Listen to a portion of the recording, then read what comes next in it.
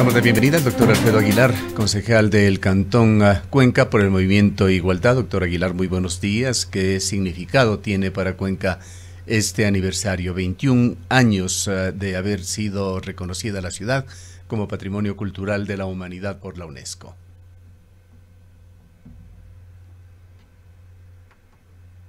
Estimado Gustavo, estimada Rosada, un saludo cordial a ustedes, un saludo cordial a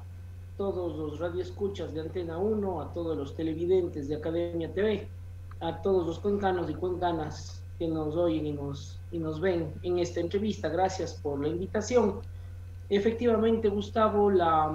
eh, ciudad de Cuenca hoy día vive un día muy importante para su historia, muy importante para su patrimonio. Como usted bien señala, 21 eh, años se celebran hoy de eh, que Cuenca fue declarada como Patrimonio Cultural de la Humanidad. Pocas ciudades en el mundo tienen esta suerte, tienen este privilegio de tener esta eh, categoría, de tener este galardón como ciudad, como eh, justamente Patrimonio Cultural de la Humanidad, y esto es gracias no solamente a nuestro centro histórico bello, precioso, que todos conocemos y todos admiramos, sino a todo el patrimonio tangible e intangible de la ciudad de Cuenca y obviamente a todas las manifestaciones que eh, en este sentido se realizan no solamente en el área urbana de la ciudad, sino también en las 21 parroquias rurales. Como usted bien indica, hoy día hay eh, dos eventos que organiza el GAD municipal de Cuenca. Vamos a estar obviamente también participando los concejales eh, nos han invitado para participar justamente en la colocación de una ofrenda floral justamente en el Parque Calderón, en el hemiciclo del Parque Calderón, y seguidamente a ello en la Catedral Vieja o del Sagrario va a haber un acto especial en donde eh, seguramente se les entregará la presea Cuenca Patrimonio Cultural de la Humanidad a estas dos personas justamente del área rural que el Consejo Cantonal hace unos días atrás por unanimidad aprobó el que se les entregue y el que se les otorgue. Me refiero a Virgilio Quinde y a doña eh, Matilde Sacaquirín, quienes son las dos personas que, reitero, han contribuido al patrimonio desde sus actividades, desde sus experticias, eh, y obviamente son de la parte rural, y eh, hoy, el día de hoy se les estará homenajeando a la ciudad de Cuenca y a estas dos personas en especial con el otorgamiento de la presea Cuenca Patrimonio Cultural de la Humanidad, que como usted bien conoce, Gustavo, desde el año 2005 se viene entregando cada primero de diciembre en la ciudad de Cuenca, en el cantón Cuenca, por una ordenanza que existe que en su momento fuera aprobada por el Consejo Cantonal. Doctor Aguilar, muy buenos días. Esta declaratoria de Cuenca como Patrimonio Cultural de la Humanidad 21 años después, se puede eh, observar que a lo largo de este lapso, de este tiempo, ha enfrentado una serie de, tropiezos en la conservación de esta declaratoria, pero sobre todo en la conservación de bienes patrimoniales en eh, la ciudad. Vemos que todavía inclusive hay un, un reto y una deuda pendiente respecto de, esta situación, de cómo además compaginar la conservación del patrimonio con el desarrollo y el crecimiento urbano. Lo que usted dice, Rosana, es absolutamente cierto. Hay mucho, muchísimo por hacer en cuanto tiene que ver a la conservación de patrimonio y créase, esto es lo que vemos casi todas las semanas en la Comisión de Áreas Históricas y Patrimoniales, del cual soy eh, justamente su vicepresidente. Sin embargo, de eso tampoco podemos dejar de decir que eh, Cuenca ha logrado hacer cosas importantes. Yo me acuerdo que del año 2014 al año 2019 se recuperaron alrededor de 20 eh, viviendas, de 20 inmuebles más o menos, por ejemplo, algunas en la calle de las Herrerías, eh, otra casa en otras casas en el centro histórico, la Casa del Arco, junto al Arco en la Avenida Loja, por citar algunos ejemplos de recuperaciones que se han hecho justamente, Rosana, a bienes patrimoniales que se han estado cayendo, que se han estado destruyendo, y que hoy día más bien eh, ya son eh, bellas casas, una demostración de que el patrimonio sí se puede conservar e incluso con utilidad. Vea usted la Casa de la Lira, allá en este hermoso barrio del Vado, de nuestra ciudad de Cuenca, que hoy día ya funciona incluso como sede eh, de las oficinas de la eh, Dirección de Cultura del GAD Municipal de Cuenca. Eh, es decir, sí se ha hecho, pero falta mucho por hacer. Nosotros estamos convencidos de ello, le hemos solicitado a la actual administración que gestione fondos en organismos internacionales y que obviamente exija los fondos que por ley el gobierno central le tiene que dar a la ciudad de Cuenca por temas de patrimonio para que sigamos invirtiendo, porque esto no es un gasto de ninguna manera, sino una inversión más bien en favor de la ciudad y en favor de nuestro patrimonio. Hay um, un tema, doctor Aguilar. Esto tiene mucho que ver realmente con una opinión personal y perdón por la, por la primera persona, pero es un tema que lo hemos dicho ya en muchas ocasiones en este medio de comunicación y que lo respetamos. Realmente hay un, dicho popular que entre gustos y colores eh, no discuten los doctores. Puede ser solamente una apreciación temporal, pero eh, en la Catedral de Cuenca nos parece que se está jugando demasiado con la iluminación. La catedral, que es eh, la principal, la más importante estructura arquitectónica de Cuenca, la más representativa de esta urbe desde hace algún tiempo, se empezó a jugar allí con colores eh, neón. Eh, esto es una aspiración, reitero, personal, pero que debería trabajarse una iluminación más acorde con los atributos de este importantísimo monumento, de esta importante construcción arquitectónica, reitero, la más representativa de Cuenca. No pensamos aquí que tienen que primar los gustos personales, por supuesto, pero sería relevante que, eh, aprovechando este aniversario 21, la Comisión eh, Barranco, que también maneja iluminar, pueda eh, reunir quizá a expertos en este tema y pensar en una iluminación, que rescate esas características monumentales de la catedral. Es cierto que monumentos en el mundo, edificios, la Torre Eiffel, por ejemplo, en ocasiones eh, toman los colores con técnicas láser modernas para representar a través de ellos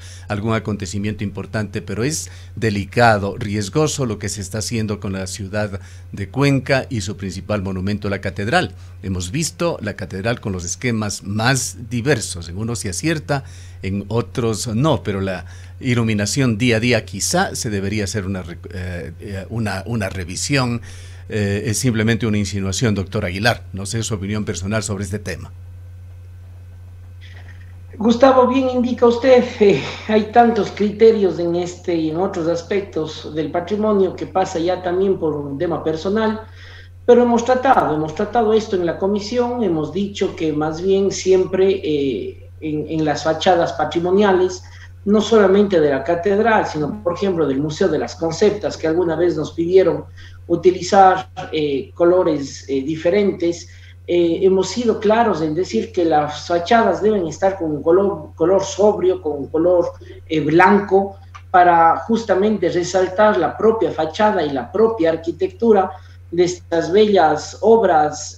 civiles y, e inmuebles que son patrimoniales y que tenemos en nuestro centro histórico. Eh, sin embargo, también ha sido utilizado, y esto a lo largo de los años, no hay por qué no decirlo, eh, por ejemplo, en las fiestas de Cuenca poner los colores de nuestra bandera y en los diferentes eventos eh, que van pasando en la ciudad y en el país, ir iluminando como un homenaje a tal situación. Yo creo que lo importante es no faltar al respeto, de, para decirlo de alguna manera, a estos bienes patrimoniales que se merecen más bien toda la admiración del mundo y obviamente no abusar, no caer en ningún extremo y más bien que siempre sean utilizados con colores absolutamente sobrios que resalten la misma fachada, que resalten las mismas bondades arquitectónicas de estos bienes inmuebles patrimoniales. Sí, eh, reitero, es algo subjetivo, doctor Aguilar, pero para eso hay expertos en patrimonio y en iluminación de edificios y monumentos antiguos. Ojalá se pueda hacer alguna consideración y a lo mejor encontrar una ratificación de que se está haciendo bien. Gustavo, es una muy buena sugerencia y como usted bien indica, esto ya no solamente depende de áreas históricas y patrimoniales, más bien la iluminación de la catedral, por ejemplo, eh, está a cargo de la Fundación Iluminar, que obviamente siempre tiene que estar en coordinación con áreas históricas y patrimoniales para cualquier evento que se quiera realizar eh, en aquel inmueble. Pero sí, la sugerencia suya es absolutamente oportuna. Siempre hay que hablar con las personas que más conocen, con expertos en este tema. No es un tema fácil, desde luego, pero eh, siempre más bien hemos tendido y hemos tratado de que el patrimonio de nuestra ciudad se conserve y no solamente en la Catedral Vieja, como estamos mencionando, sino a lo largo de todo su centro histórico y de todas las otras áreas, tanto urbanos cuanto rurales.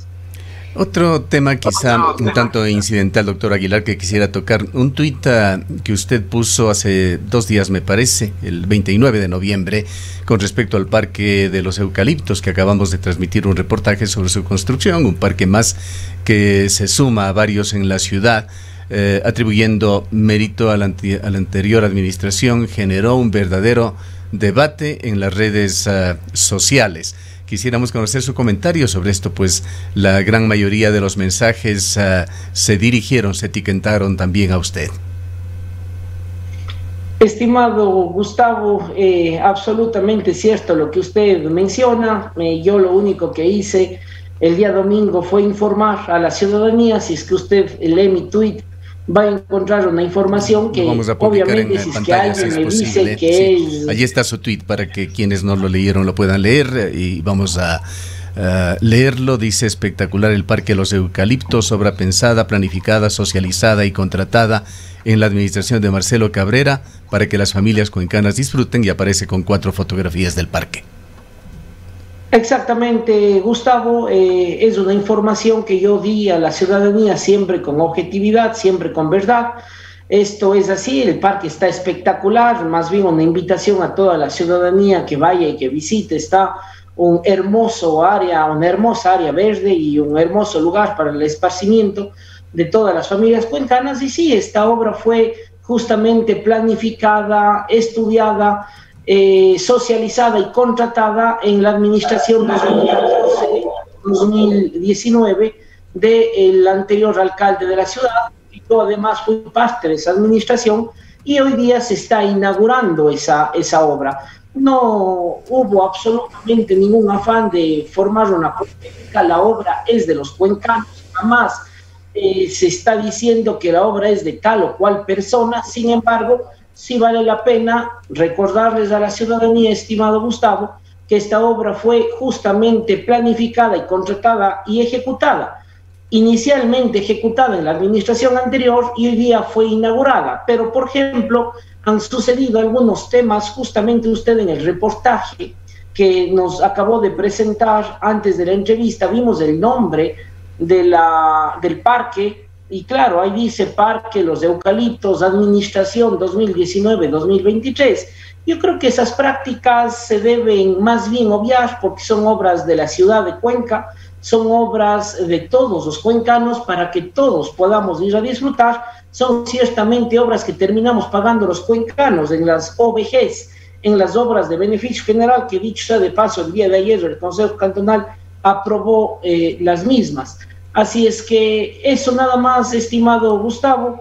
ojalá que ya la administración actual tenga sus propias obras, estamos ansiosos de eso, eh, seguimos esperando nosotros como concejales que nos informen que se ha contratado ya alguna obra de importancia para la ciudad de Cuenca, porque justamente esa es la política, Gustavo, el servir a los demás. Para eso son electas las autoridades o somos electos en cada una de las funciones, desde luego nosotros como concejales, como fiscalizadores y como legisladores, y ya la parte ejecutiva del GAD municipal para justamente realizar mucha obra social, mucha obra pública, mucha obra en beneficio de todas las familias cuencanas, que como digo, son 18 meses de gestión y ojalá entonces ya empiecen a aparecer eh, las obras de esta administración. Quizás ah, esta situación, uh, concejal Aguilar, más bien tiene también una faceta positiva, es el hecho de que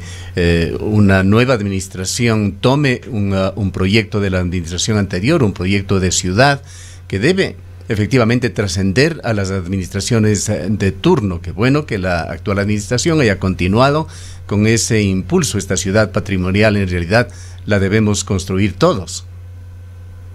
Absolutamente, Gustavo. Imagínense lo que hubiese sido dejar un proyecto que ya estaba iniciado y con un avance del más del 50%, más menos, eh, eh, trunco. Imagínense lo que hubiese sido. Eh, en los próximos días vendrán también inauguraciones de obras importantes para la ciudad, por ejemplo, el complejo deportivo La Gloria, que está hermosa, este complejo deportivo allá en el barrio La Gloria de nuestra ciudad de Cuenca. Luego vendrá ya la primera etapa o la primera fase del jardín botánico, que son obras que se hicieron en un inicio pensando en los cuencanos y que desde luego, si tienen que continuar, se tienen que inaugurar y se tienen que poner a disposición de la ciudadanía, porque para eso son las obras y para eso justamente es el servicio público y eso es lo que se espera de la anterior administración, de la actual administración y de las que vengan en un futuro. Doctor Aguilar, eh, yo quisiera avanzar en otro, en otro tema. Eh, quizás usted podría comentarnos cómo eh, está la situación de la empresa municipal Etapa luego de la medida de hecho de los trabajadores.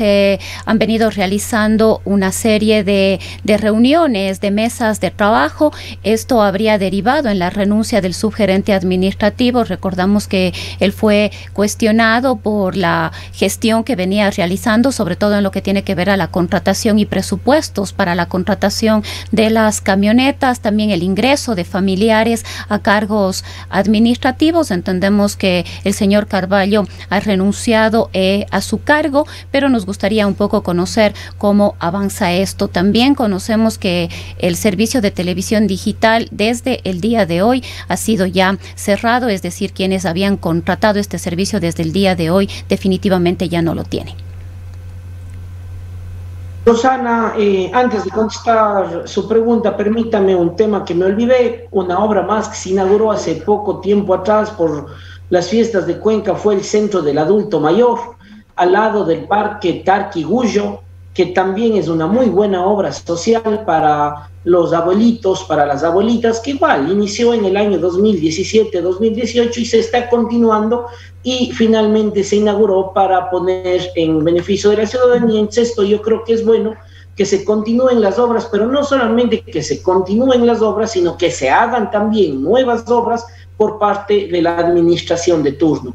En cuanto tiene que ver el tema etapa, ha estado eh, avanzando muy bien. Yo creo que aquí debemos ser siempre claros y objetivos. Rosana, como siempre hemos sido, ha habido apertura tanto del gerente de la empresa y por eso mi agradecimiento a José Luis Espinosa por varias ocasiones y también a Johnny Chávez por la apertura que ha tenido desde la eh, presidencia de la Asociación de Empleados cuando pasan este tipo de conflictos, primero el tema personal tenemos que dejar a un lado y hacer que prevalezca el tema institucional y luego tenemos que ir cediendo posiciones de parte y parte para llegar a consensos y eso es lo que ha estado pasando. Eh, próximo a solucionarse el pago de tres eh, personas eh, que fueron que se retiraron de etapa, eh, incluso por jubilación, por invalidez, y que todavía no han recibido su respectiva indemnización porque había ahí un tema legal que se pudo solventar. El directorio de la empresa eh, tendrá que reunirse en estos próximos días, si no lo ha hecho ya, ya voy a averiguar incluso con el gerente de la empresa, porque ellos van a dar una salida que es una nota interpretativa al reglamento del talento humano para poder solventar también este tema, lo que usted ya ha señalado del subgerente administrativo, que es un tema que ya sucedió, y que todo el mundo conocemos y así entonces reponiendo posiciones de un lado y del otro se hace que el buen clima laboral regrese a la empresa, eso es absolutamente importante y vital, estimada Rosana, porque en cualquier lugar, empresa pública, empresa privada, que no exista un buen clima laboral, es muy difícil trabajar y es muy difícil producir. Más allá de todo esto, Etapa tiene que buscar nuevos negocios, tiene que buscar nuevos ingresos económicos dentro de su giro de negocio. Aquí estamos claros que el tema de la telefonía y el tema del, del agua, de la telefonía fija y el tema del agua, más bien son eh, rubros que la empresa tiene que, no gastar, porque no es un gasto, pero sí tiene que subvencionar sus costos. Pero en cambio, en el tema de telecomunicaciones, ahí es donde necesitamos nuevos proyectos que beneficien a la ciudad y que beneficien a la empresa. Se han hecho importantes recortes en gastos corrientes en la empresa y eso también hay que reconocer, como siempre lo hemos hecho. Pero eso no es todo eso no es todo. A más de todos los recortes que han habido en gastos corrientes, en temas camionetas, por ejemplo, en temas de ciertas administraciones y de ciertos cargos de libre nombramiento y remoción, necesitamos encontrar nuevos proyectos que ingresen dineros a la ciudad de Cuenca y a la empresa Etapa, ya sea por la administración directa o ya sea por una APP, que son estas asociaciones público-privadas que son absolutamente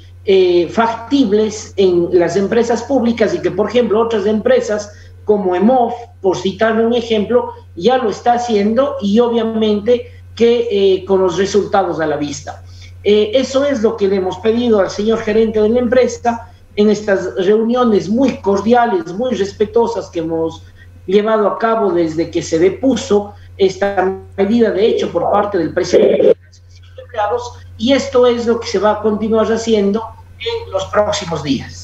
En este punto, doctor Aguilar y amigos oyentes y televidentes, ponemos uh, punto final al enlace con Academia TV, pero quisiéramos uh, quedarnos en la señal de Antena 1 con una pregunta más para el uh, concejal Aguilar. Volviendo a la construcción de la ciudad, doctor Aguilar, a la proyección a futuro de la ciudad patrimonial, la actual administración, y en esto nos referimos no solamente al alcalde Pedro Palacios, al cuerpo de concejales, a los representantes ciudadanos, tienen pendientes las definiciones sobre planes trascendentales para el futuro de la urbe, el plan de ordenamiento territorial y el plan de uso de suelo. Estamos sumamente preocupados, eh, hablaré en primera persona, Gustavo, estoy sumamente preocupado desde que hubo el cambio de director de planificación en el GAD municipal de Cuenca, no hemos vuelto a oír absolutamente nada del PDOT, no hemos vuelto a oír absolutamente nada del plan de uso y gestión de suelo, no han habido nuevas reuniones de socialización, no sé, desconozco si se está haciendo un trabajo a la interna del municipio con estas nuevas autoridades en materia de planificación y planeamiento dentro de nuestra ciudad, pero ojalá en un corto tiempo se nos invite a los concejales para poder analizar estos documentos, poder debatir, poder hacer nuestras sugerencias. Eh, hoy día es primero de diciembre y ve usted que todavía no tenemos aprobado el plan especial de centro histórico, un plan que está absolutamente listo, absolutamente acabado e incluso aprobado en primer debate la ordenanza que sanciona justamente, que, que, que, aprueba el, el, plan especial de centro histórico, el mismo que tiene cuatro libros y uno de esos es un libro muy importante como es el plan especial de elegido que es una zona que hay que hacer muchísimo trabajo. En la ciudad de Cuenca me refiero a esta zona que circunda al estadio Alejandro Serrano Aguilar. Entonces, más bien aprovecho esta oportunidad para hacer una cordial solicitud, una vez más, de las tantas que se han hecho de forma verbal y de forma escrita, que se ponga en consideración para la aprobación en segundo y definitivo debate del Consejo Cantonal el Plan Especial de Centro Histórico, reitero, documento absolutamente listo y terminado, eh, que en el año 2019, me parece que en los meses de marzo o abril se aprobó ya en primer debate, y obviamente también no descuidar el PDOT y el PUX, que son herramientas que nos van a permitir que la ciudad crezca, pero de una forma ordenada, de una forma planificada, estimado Gustavo. El plan de manejo del centro histórico fue justamente una necesidad que surgió hace 21 años cuando Cuenca fue nominada y reconocida como Patrimonio de la Humanidad. Queremos agradecerle por su presencia, concejal Aguilar. Gracias, Gustavo, a usted. Un abrazo, Rosana. Alfredo Aguilar, concejal del Cantón Cuenca.